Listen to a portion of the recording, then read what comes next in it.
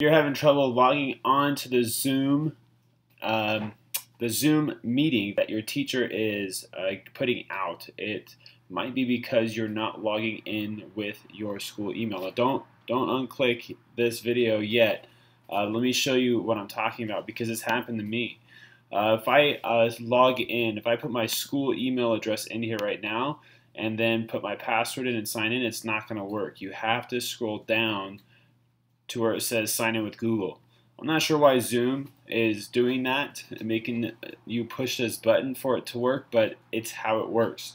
So you need to click on the sign in with Google button and then click on your school email address.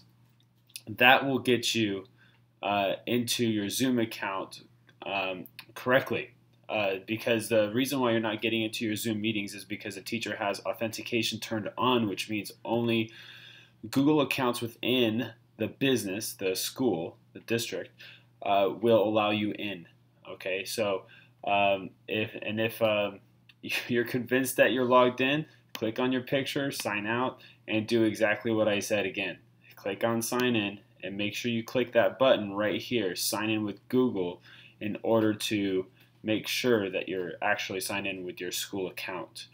And then you can go to, after you sign in with your school account using this button, you can go to Google Classroom, wherever the link is, and click on that, and you should be able to get into the meeting.